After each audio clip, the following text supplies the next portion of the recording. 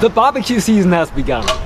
And if you have at least 800 euros to spare, you can treat yourself to a very special gas grill.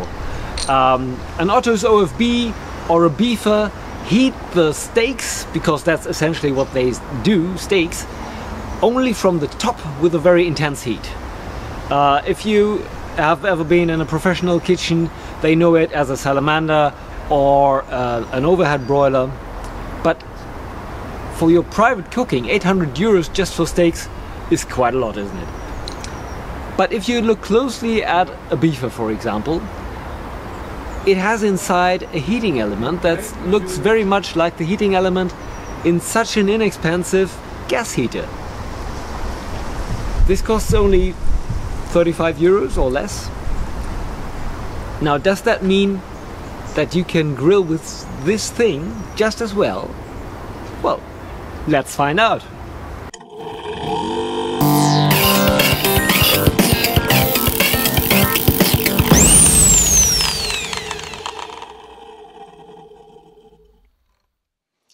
Such a gas heater is available for less than 35 euros. See the description. And quite conveniently, there is even a grill grid included. We need to get our food as close to the heating element as possible. The edge of the heater is in the way, so it has to go. By the way, if you want to do this at home, please do it at your own risk.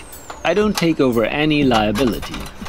But we're only fiddling with combustible gas under high pressure, so what can possibly go wrong?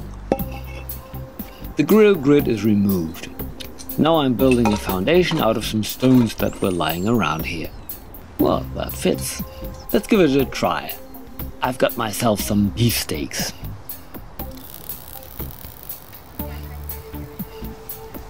After about a minute, the steak is turned around.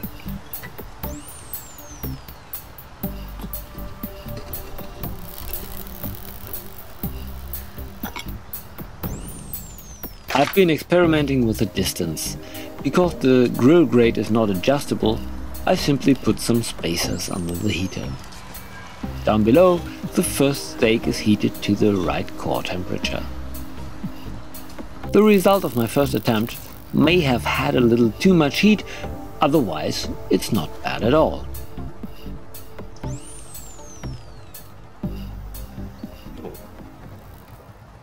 I would say I'm, I'm pretty happy with the result. I mean, it takes a little practice, probably more than with the real thing, Maybe one day we'll build a proper housing for it.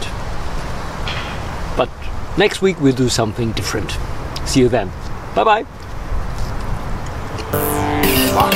Good.